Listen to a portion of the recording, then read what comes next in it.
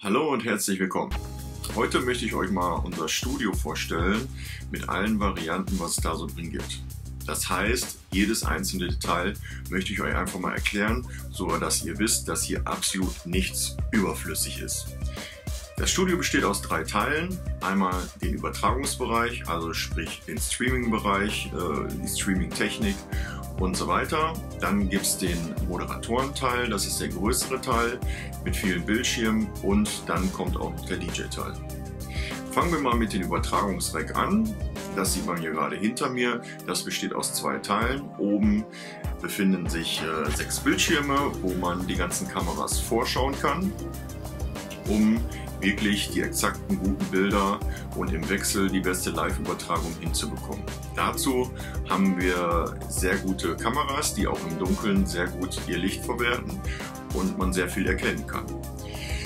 Weiteren ist in diesem Rack ein äh, Videomischpult verbaut und zwar das Ideol V8. Das hat insgesamt sieben Videoeingänge und zwei VGA-Eingänge, so dass man auch vom PC zum Beispiel eine Werbung einspielen kann und äh, solche Sachen. Dann daneben ist noch ein kleiner einfacher Audiomischer für Signale, die vom Set kommen oder von, von einer Liveband kommen oder vielleicht auch für andere Sachen. Ja, dann geht es mit dem zweiten Teil des Racks weiter, was man auch noch für andere Sachen nutzen könnte. Äh, das fängt an mit einem Kopfhörerverstärker, wo man äh, natürlich Kopfhörer anschließen kann, aber auch Signalquellen für äh, Nebenräume zum Beispiel ausgeben kann. Dann haben wir noch den Finalizer. Der Finalizer ist nichts anderes wie eine Endmaster-Spur. Der kriegt das Endsignal vom Hauptgerät, also sprich auch von, von der Band oder wie auch immer und ja, wie soll ich das ausdrücken, ähm, gleicht nochmal einfach die Signale ab. Also das heißt, er geht hin, äh, sind zu viele Höhen da, setzt die Höhen runter, sind zu viele Bässe da oder zu wenig Bässe da, setzt wieder rauf oder wieder runter. Also nichts anderes wie ein Kompressor-Limiter, nur mit einzelnen Kilohertz-Zahlen. Dann kommen wir zum Flaggschiff.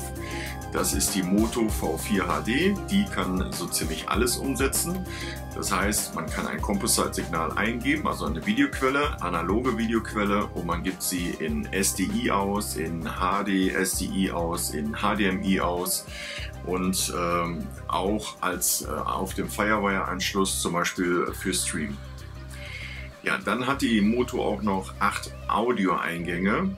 Die sind auch wandelbar in AES, in optischem Signal und mit 8 XLR-Anschlüssen.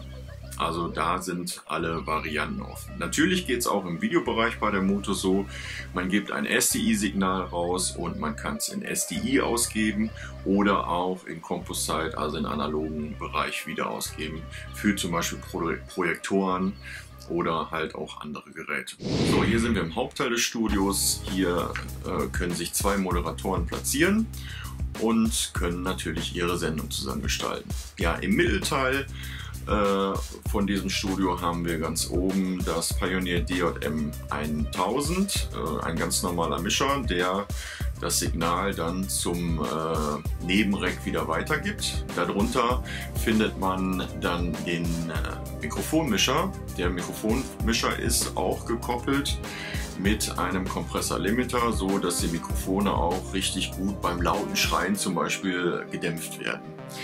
Dann finden wir einen MP3-Player, der an einem PC angeschlossen ist und darunter den CD-Player. Und dann kommt die ganze Videoverwaltung, das heißt und Jingle Player in Form eines äh, Touchscreens, wo zwei Softwarearten drauf sind.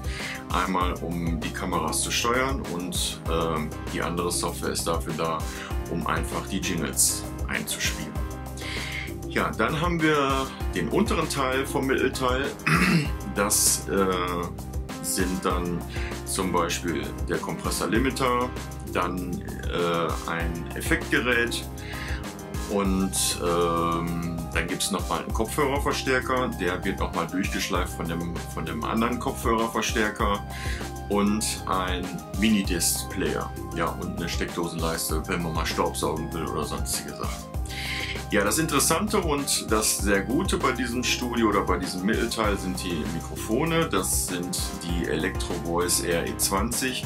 Die werden eigentlich äh, meistens in fast überwiegend allen Radiostudios weltweit gebraucht, weil sie einfach so einen kleinen amerikanischen Touch haben, sehr sauber sind und der Clou an diesen Mikrofonen ist, sie brauchen keine Phantomspeisung. Also das heißt, man braucht kein extra Mischpult oder kein extra Phantomspeiser. Man kann sie anschließen und sie haben eine super geile Brillanz. Ja, die ganzen Monitore hinter mir. Ähm, der eine PC hat sechs Monitore, um alles äh, vernünftig zu sehen, ob es ein Chat ist, ob es ein Player ist, ob es andere Sachen sind.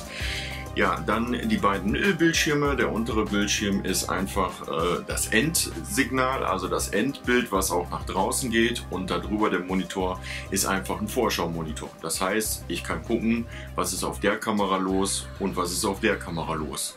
Und kann dann dementsprechend umschalten. Genauso wie den, bei den kleinen sechs Bildschirmchen, nur in groß steuerbar. Ja, dann haben wir noch den zweiten Arbeitsplatz. Der hat auch sechs Bildschirme mit PC und natürlich Mikrofon. Ja, und dann kann man sich eine richtig schöne Sendung zusammenbasteln. Und das sogar live. Hier sind wir beim DJ-Bereich. Der DJ-Bereich ist ja, klein gehalten und äh, es ist so gebaut, dass man den mittleren Teil äh, abtrennen kann, also einfach vorne rausziehen kann, so dass man äh, ihn ins Auto laden kann und überall Musik machen kann. Ja, dazu gehören natürlich noch äh, die Boxen, die auch äh, in einzelnen Fächern geschoben sind.